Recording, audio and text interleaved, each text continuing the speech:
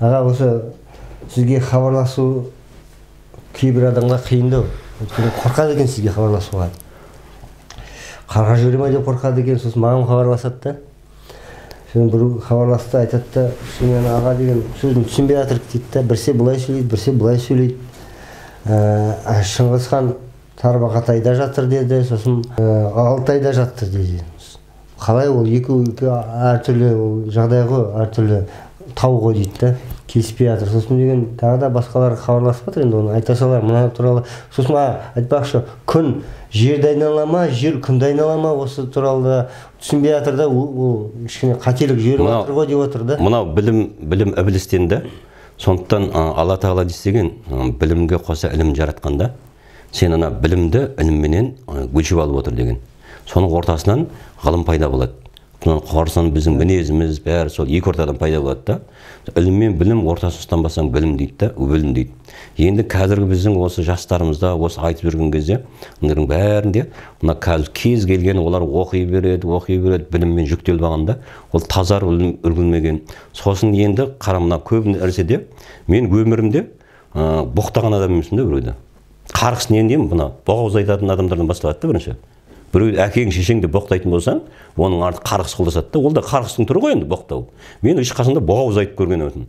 Мына жүрегінде жүрегінде мына қарсылық қарғыс барлары бар. Мен ана ұрысып сөзде сөйлегенімді қарғыс дейді да. Тәйт деп ұрысып міне кейде жекіп тастаймын ғой, мынауың дұрыс емес деп. Ол сен анау мені қарғады дейді. Осы қарап отырсаң осы мына жас баланың бала менен әйел мастыққа тән деген осыны көбінесе әйелдер айтады. Сен қарғайсың дейді. Айналайын сен қарғыс деген әуелі не екенін зерттеп біліп алсайшы. Қарғыс деген болмасын дейді. Қазақта бар болмасын деген сөз оңбасын дейді. Болмасын деген оңбасын дейді. Ал мен керісінше оған болсын деймін сен мынауың тый мынауыңды деп. Енді мен сонда жұртқа сен ана обың таста ананы таста құдайдың хабарын жөнді құдай сонда бізді қарғап жатыр ма? Бұның айтып жүрген мен құдайдың хабарынан басқа ештеңе айтып жүрген жоқпын ғой. Мен барлық нәрсені құдайдың маған үйреткен раббымыздың үйреткен білімінен алып отырмын да. Жақсы енді өзің тарбағатай енді алтайда соған кетті соған келе жатырмыз ғой. Осы сол шыңғыс хан болмасын қандай тарихың мына қазіргі біздің мына отырар кітапханасы осылардың бәрін мен енді бір ә, бір жас бала емеспін да осыны. Келді бірден айта салады. Мен оны әуелі он рет тексеремін да. Тексеремін сұраймын мысалы отырар кітапханасын мен соны білу үшін соның дерегін бес жыл соңынан қалмай зерттедім. Бар деген жерлерге бардым. Осы маңда ма осы маңда деп сөйтіп жүріп барып кейіннен барып маған аянмен көрсетті. Нақты қай жерде екенін көрсетті. Сол жерге барып тағы ойлаймын да бұл жерде қалай сонда тығылып тұр деп. Алланың құдіреті ғой. Сол жерге барып маған зираттатты. Сол жерге құрбандық шалдырды. Мінекей осы жерде тұр бұны тек қана мен кімге айтамын дегенде елбасының өзіне жеке айтуыңа болады деді. Бірақ елбасы соны білмей ақ кетейін деп тұр ғой бұл бұл неден биліктен. Соны білмей ақ білгісі келмей кетейін деп отыр ғой. Енді енді шыңғыс қарап хан отқан шығар құлақтарына е- жеткізер. Енді шыңғыс хан шыңғыс хан онысы туралы ол басында маған арамыздан ә, белгі сен енді осындай ол үшін не істеу керек болды? Ол- осыған мен арамыздан сол білімді меңгеру үшін арамыздан білу үшін мен осы әуелі қарсылықтармен соғыстым.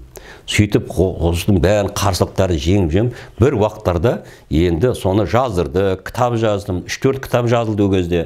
Оны тараттық сөйтіп жүрген кезде бұны ібіліспен кездесіп болды. Келіп менің қолымнан алды. Сен жеңдің деді. Мен ібіліспін деді. Кісі болып келді да ібіліс кісі болып келеді. Сен жеңдің деді. Ол аяңызда. Иә аянның кез сен жеңдің деді. Енді оны мен түсінбедім сөйтсем бұл не? Бұл сол аруақтардың алла тағала берген білімі яғни ібілістік білімді жеңуге соған дәрежеге жетті ата жолының білімі деген сөз да? Сол екен да мен бұл қалай деп мен түсінбей жүрсем ата жолының білімін қазір кім көбірек оқыса онда түс аян пайда болады онда үн пайда болады мына ібілістің қарсылығын жеңеді деген сөз. Сондай белгісі ол бесінші кітаппен солай келді. Бесінші кітаппен белгеннен кейін сонысын барып енді айтты әрі қарай енді ол енді ібілістің мысалы жер бетіне түсетін барлық білімдерді ібіліс басқарып тұр ғой. Саған, саған кез келген білімді ібіліс жеткізіп береді. Сол біз ібілістің қызметшісі боламыз біліммен соны. Сөйтіп енді қалай да енді ібілістің ешқандай несінде жоқ ақпаратында жоқ білімдерді түсу керек болды. Сол уақытта маған айтты бір жетпіс сұрағың бар деді. Мен ойланып ойланып не сұраймын соған жауап беріледі деді яғни түзу керек сосын ойланып ойланып мен бүкіл бар ауруларды бастадым ауруыңа ем іздегенше ауырмайтын жол дейді мына спид ауру қайдан пайда болады қазір неше түрлі мүгедектік ауру бар қан азуы бар поз барлық ауру тізіп жазып шықтым мінекей тіптен осы латын таңбадан қандай ауру пайда болатын көз соқырлық пайда болады екен да мына көз аурулар осы латын таңбасын мына пайдаланғандардың көзінде көз ауру көп мына әлемдегі көз аурулар содан пайда болады екен.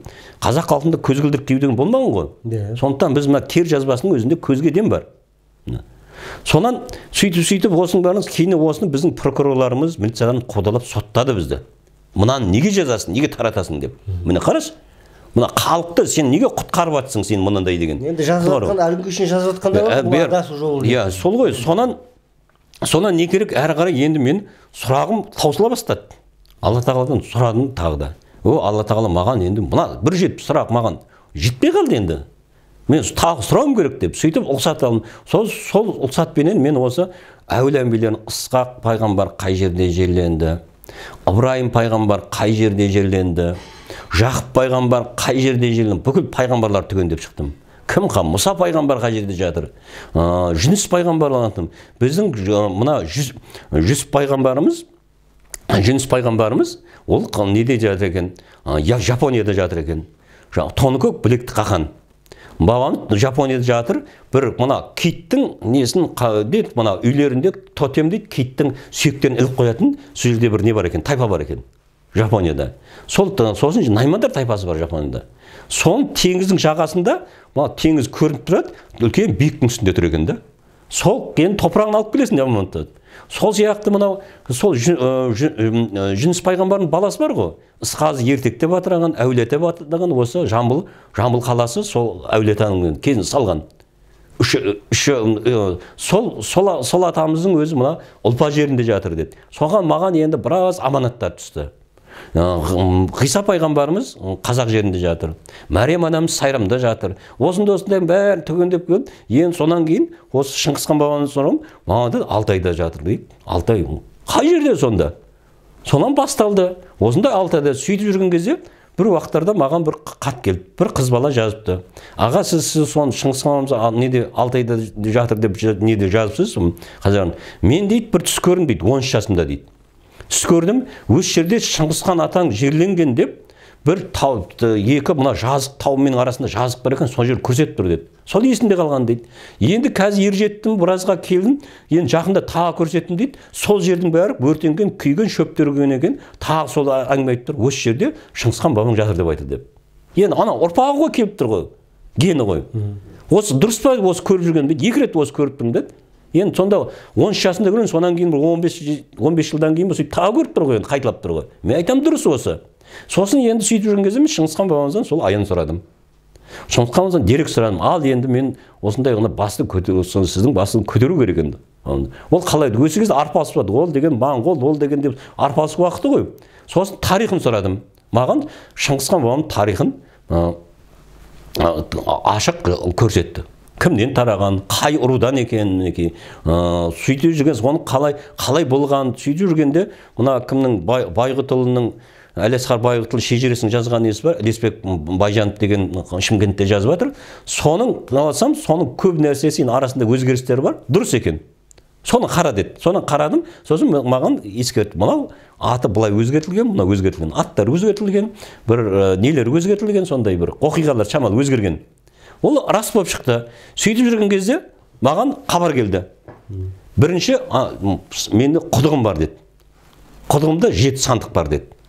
Ол дәлелі құдығын ашпай біз шыңғысхан бабам қазір білдіңіз ешкім сенбейді оған құдығында соның мұрағаттары бар екен жеті сандық соны алатын деді. Оған дейін деді. Бірінші анамның басын көтересің деді. Қасында қырық куәзі қоса жерленген деді. Сосын ана ана қайда деп мен сұраған кезде ол сол неге барған кезде табасың деді көрсетеді. Мына не жаққа осы тарбағатай жақта. Сол дейді басында аттың мүсіні тұр деді. Аттың басының мүсіні тұр деді. Сол аттың басында тұрған менің анам несі деп. Сонымен ол жарайды ол кетті. Сөйтіп жүрген кезде енді ол, ол үшін енді біз әуелі онан кейін мына неге оған қызмет жасайтын оның ұрпақтары ғой енді. Абылай хан атамызды көтеру керек.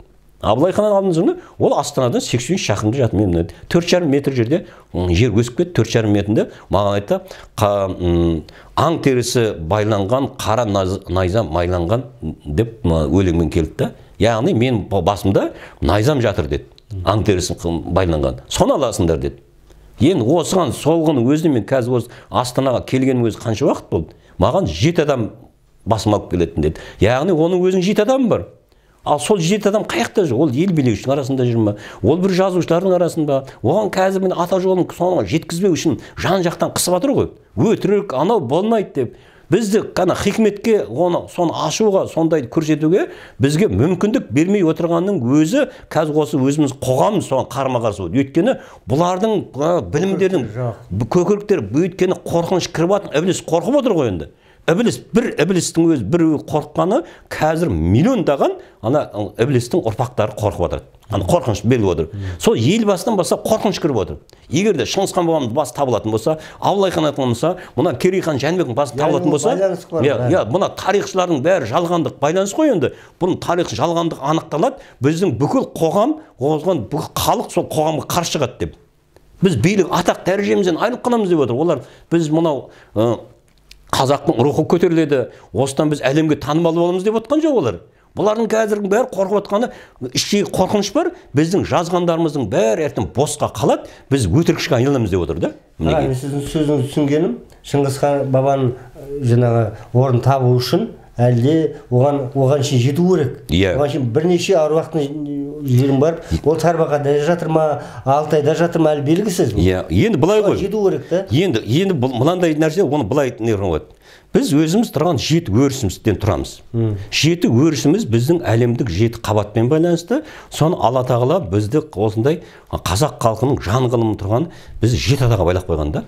Жеті атасын білмеген жетесіз деген сөз біз аталардың аттарын ғана біліп тұрмаймыз. Біз сол жеті атаға жалғанып болмай біз жетеміз толық болмайды мінекей. Жеті өріс хабар ғой хабар алуымыз керек аян түсіне жалғануымыз керек. Енді біздің сол қазір біздің әкеміздің де жағдайының дұрысталуы ә, оның әкесінің әкесінде анау тұрған жетінші атада тұр бұлақ сол. Сол жетінші атаға сен жалғанып сонан болғанда қалғандарың бәрі өзін өзі түзеле бастайды. Пирамида сияқты ғой. Төбесіндегі сол нұрға нұрға төбе пирамида ғой. Соған алла тағала сол нұрға нұр берді ма енді қалған бөтке жеті ұрпақтың бәрі астында өзін өзі түзеле бастады. Енді оның онан кейін оның несі, онан да жоғары тұрған біздің ру басылар бар. Мысалы сен қа- қандай ру қазір? Таз, Таз- тазыр соны енді таз атаңды білмейсің ғой. Білмеймін. білмейсің. Осы сен сендер таздар қашан сол таз атаның басын көтеріп қай жерде? Соған жеткенше бүкіл таздың несі та- тағдыры ол түзелмейді. Түзелмейді. Бірі былай бірі былай болады арасында осындай. Сол сияқты қазір онықтар әлім де білмейді өзінің атасын.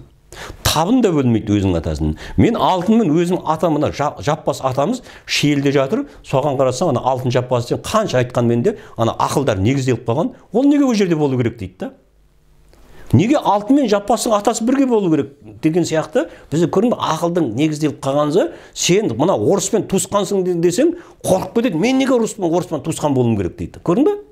Әй сен адамның баласысың ғой сен тегін адам деп. Міне хал- халықтың мына осындай ақыл негізделіп қалғаны сол біз бір атаның баласымыз деген ұғым біздің ішімізге сыймайды ішіміз тарылып қалған. Біз әрқайсымыз бөлек бөлек бізден сонда кісілік өсіп кеткен ғой. Кісілік деген жеке жеке өзінше адамның былай өзін өзін ы, артығымен бағалауы. Бәріміз кісіміз қазір.